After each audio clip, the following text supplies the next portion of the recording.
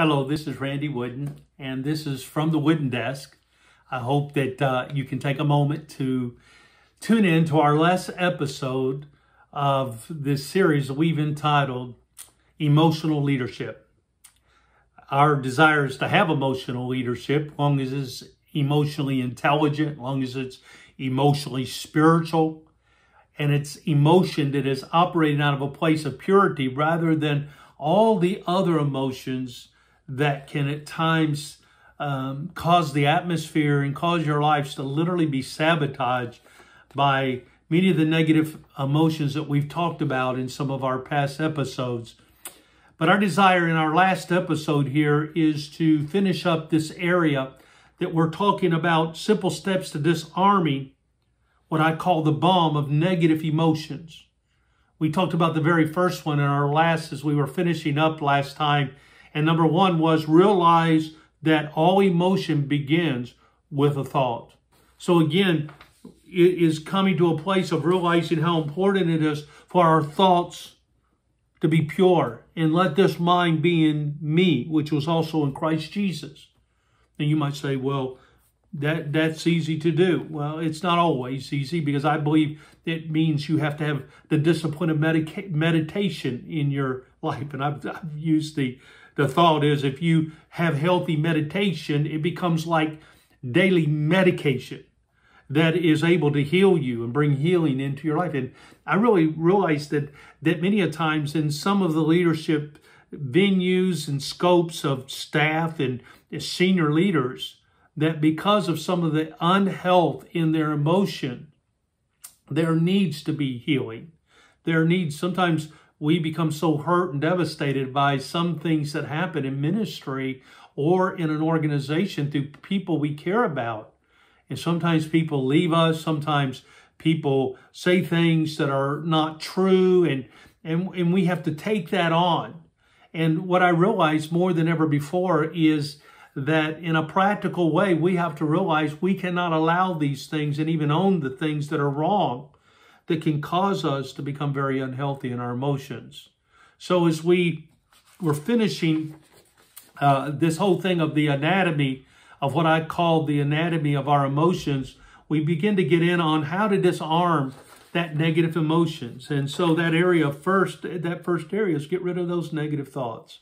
Get rid of those negative mindsets that you may have experienced and are, are wrestling with on a continued basis but allowing you to move into a place of, of health as we use the scripture in, in Philippians 4 and 8, where we talked about the area of those things which are good and excellent and good report, to, to think on the right things so that we can begin to process and begin to reproduce a life that is going to be in control of our emotions.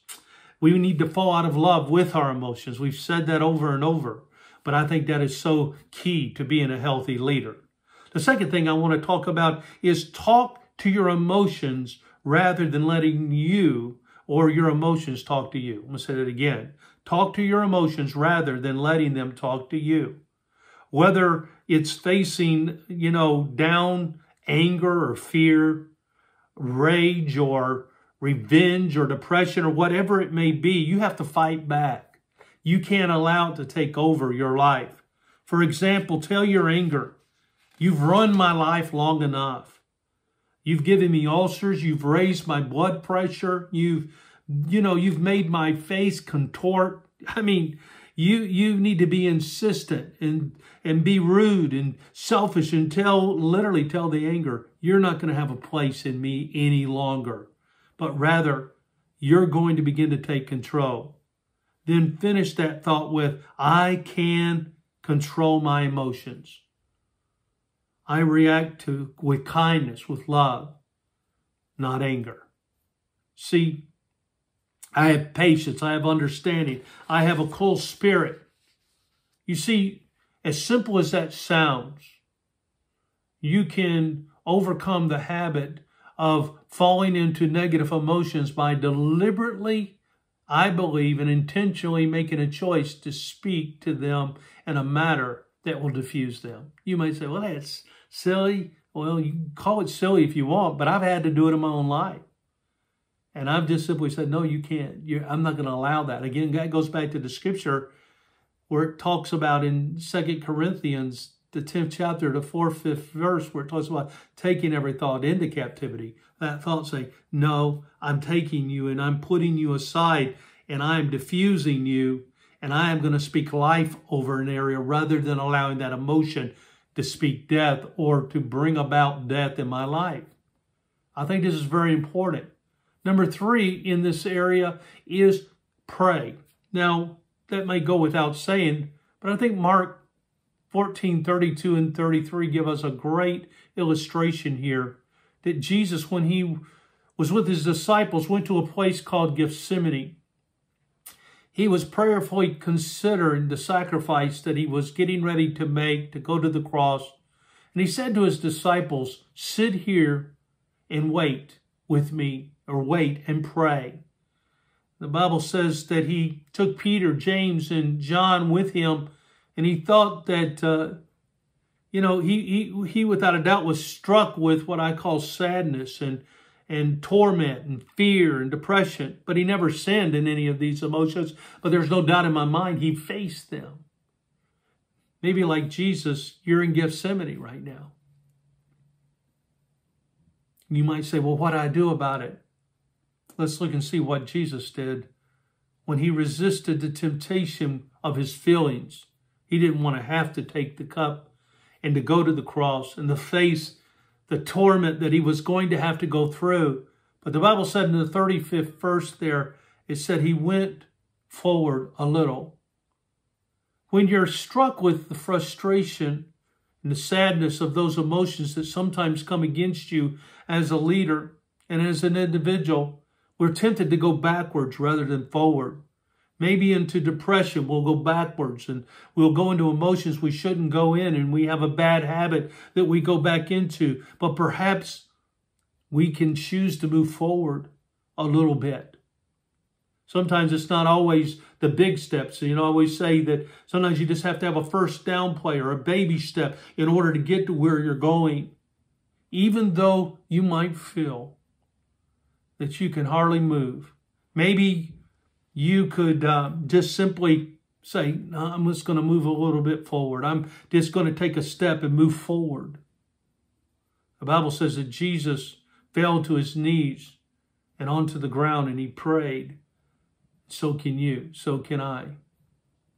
We have learned so many times that we need to have we have to be healed of certain areas in our life, but God still does the healing. And you may be listening to me and you know that because of all that you've been through, you may say, but I have a right to these feelings or I have a right to these emotions.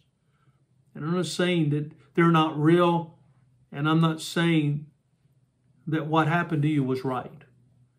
But the emotions that are accompanying many a times to being offended or being hurt or being betrayed that happen in our lives or even in our leadership cannot take rulership in our lives because they will lead us in the place that is not pleasing. One thing I admired so much about David, the story of David when he was being sought by Saul because of jealousy. And David continued to escape the grasp of Saul's basically relentless, basically trying to kill him, and one day has the opportunity to take Saul's life.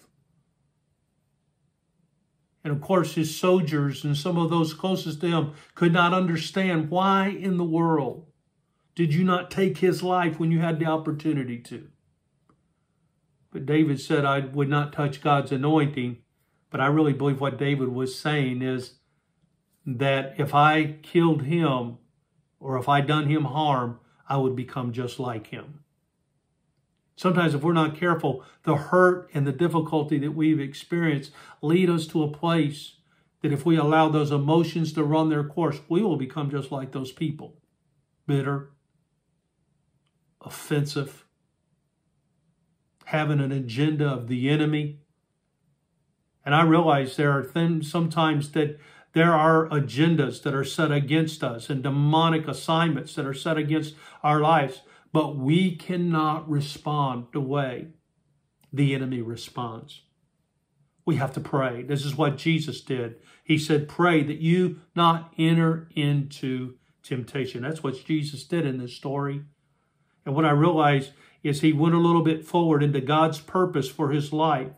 There's always going to be a temptation to be led by our emotions or to be led by other people's emotions.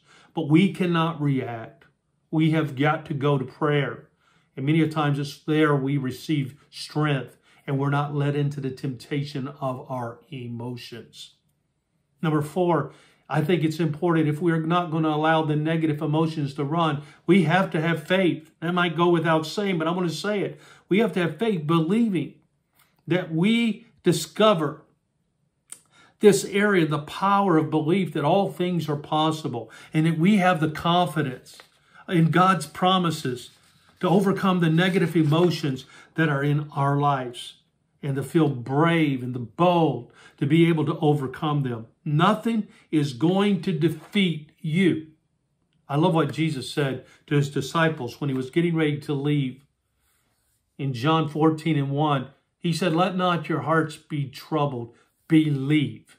Believe in God. Believe also in me. Yes, we do have control over our emotions, and we do not have to allow our hearts to be troubled. I think this is so important. And it comes from what we believe and believing in God that He gives us faith. Maybe it's time to redeem the faith that we have and say, God, give me fresh faith again for the journey. I have been hit. And all of it just seems like it, it's knocked so much of my belief and my faith and the simplicity of my faith out of my life. Let it be redeemed today. And allow the calmness to come over these emotions that have arisen in my life. See? And so it is that not allowing our hearts to be troubled, listen, and not allowing our emotions to control our life are the twin secrets to what I call turning emotional bondage into emotional freedom. And then number five, walk in love. Walk in love. Remember that the most formidable opposition many a times to any negative emotions is love. In the worst force, many a times, in the worst times, sometimes it's hard to muster up love. That's why it has to come out of the Spirit. Yet the most powerful force in the universe is love. First John 4 and 8. I love the scripture. Perfect love casteth out fear. Fear is an emotion. It's not real many of times. It's not to say there's things we should not have fear against. We shouldn't do certain things. We get that, and especially the fear of God.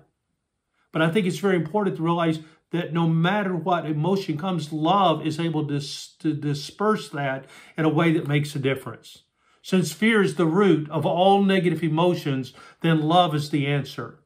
And when we know that we are loved by God and expressed his love towards others, our fears, our anxieties, all of these areas, I really believe will begin to melt away.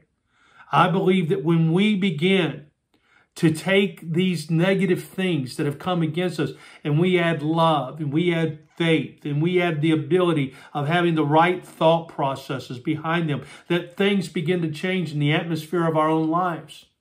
Especially if you're the one doing the leading, if you're the one who is at the desk and you are at the helm, so to speak, of the ship, trying to lead and navigate, you cannot do that with negative emotions.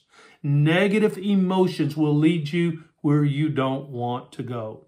See, I believe using these tools that we've talked about will is ultimately that you're not any longer going to be so I believe, drawn into the dark deception of these emotions that we talked about. And I believe that you will emerge out of a place of powerlessness and you will become powerful. And your hearts and your minds will begin to begin to be what God has called you to be. Proverbs 25 and 28 says, like a city whose walls are broken down is a man who lacks self-control. I don't want to be that kind of man, nor do I believe you want to be that kind of leader but rather we want to be like Proverbs 16 and 32, where it says, Better is a man who can rule him, his own self than one who can capture an entire city.